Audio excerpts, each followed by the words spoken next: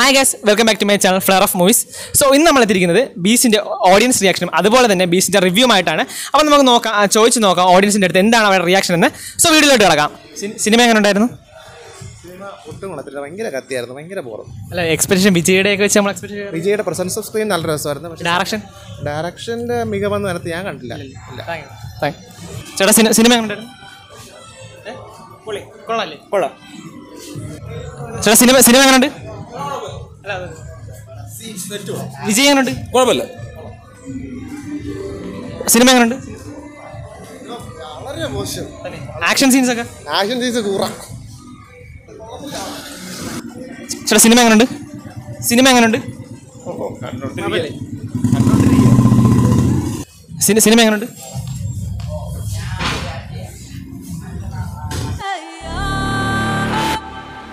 C- സിനിമ cinema എങ്ങനെയുണ്ട് cinema എങ്ങനെയുണ്ട് സിനിമ എങ്ങനെയുണ്ട് പൊളി പടം. ആ സിനിമ? സിനിമ എങ്ങനെയുണ്ട് ആ കുഴപ്പമില്ല.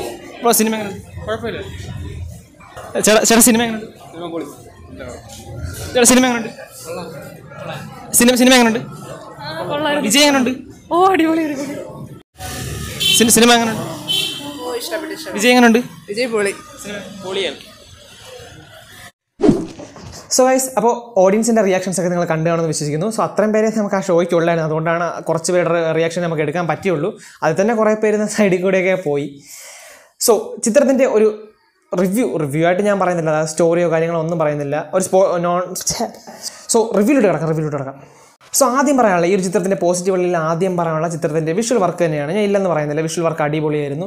എസ്പെഷ്യലി ലാസ്റ്റ് വന്നിട്ടുള്ള ആ ജെറ്റ് പ്ലെയിൻസിലുള്ള വിഷ്വൽസ് ഒക്കെ അതിമനോഹരമായിരുന്നു. ഒരു ബോറെന്ന് പോലും ഉള്ളതില്ലായിരുന്നു അതിൽ പക്ഷേ ഇന്റർവെൽ സീനില്ല ആ ഒരു സീൻ ഫാസ്റ്റ് ആൻഡ് ഫ്യൂരിയസിനെയാണ് അവിടെ നമുക്ക് ഓർമ്മ വന്നത്. അതൊന്നുകൂടെ ഇമ്പ്രൂവ് ആക്കിയിരുന്നെങ്കിൽ ഇത് കുറച്ചുകൂടെ നന്നായിരുന്നത്. കാരണം ആ ലാസ്റ്റത്തെ ജെറ്റ് സീനിലെ ഫൈറ്റ് സീൻ കണ്ടാൽ അത് നമ്മൾ പ്രതീക്ഷിച്ചു പോകില്ല ഇത് വിജയ് സിനിമയാണെന്ന് നമുക്ക് ചിന്തിച്ചു അങ്ങനത്തെ ഉള്ള ഒരു ഫൈറ്റ് സീനാണ് നമുക്ക് ലാസ്റ്റ് കാണാൻ സാധിച്ചത്.